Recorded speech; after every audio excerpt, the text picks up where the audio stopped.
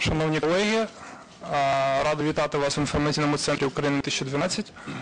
Тема сьогоднішньої прес-конференції перша медична допомога на об'єктах Євро 2012. А саме сьогодні ми будемо говорити про допомогу, яка потрібна при раптовій зупинці серця.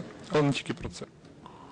Питання медичного забезпечення і медичного реагування знаходиться в Національному агентстві «Укрєвроінфопроєкт»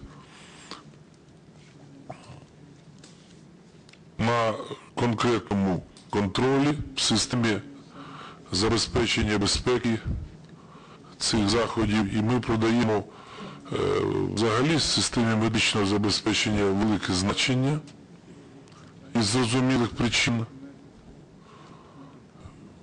Це відповідний комплекс заходів по приведенню до відповідної готовності виділених медичних закладів у всіх приймаючих містах. Питання пов'язані з фінансуванням і е, закупівлею відповідного обладнання, підготовки медичного персоналу. Що стосується безпосередньо питань медичного забезпечення на стадіоні, ну в даному випадку сьогодні мова буде йти про е, СК Олімпійський, то проведена відповідна, в тому числі і організаційна робота разом з е, структурними підрозділами забезпечення охорони міста Києва, Київської державної адміністрації, з відповідним відповідно операційної команди стадіона, підписуються угоди і створюються відповідні умови щодо медичного забезпечення і медичного реагування.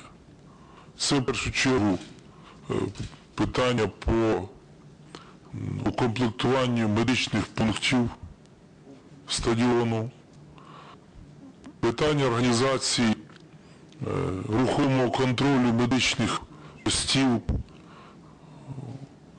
по всім секторам стадіону, питання забезпечення відповідною, відповідним автотранспортом швидкої допомоги, відповідних реанімобілів, е, операційна чи логістична складова по взаємодії всіх цих е,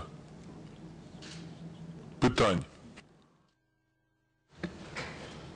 Продолжая говорить об э, автоматических дефибрилляторах и айхрое, э, хотелось бы отметить тот факт, что на самом деле большинство, э, большинство людей умирают от внезапной остановки сердца от острых форм ИБС именно не в стационаре. Что самое интересное, 80% таких пациентов умирают именно в общественных местах. То есть тогда, когда с этими людьми кто-то находится рядом и кто-то может оказать помощь.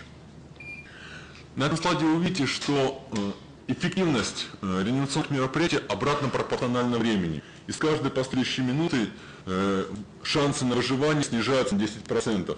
Мы знаем, что среднее время приезда скорой помощи в крупных мегаполисах составляет порядка 10 минут.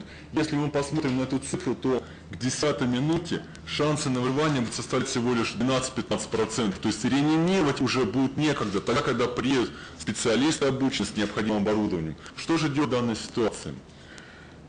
Э, В этой ситуации нужно провести реанимационное мероприятие, будь то массаж сердца автоматическая дефибрилляция. Этот слайд очень четко доказывает, что если помощь не э, оказывается пациенту, то шансы на выживание равны нулю. Если же люди без медицинского образования проводят какую-либо э, реанимационную помощь, будь то массаж сердца и искусственное дыхание, то шансы на выживание повышаются до 2%.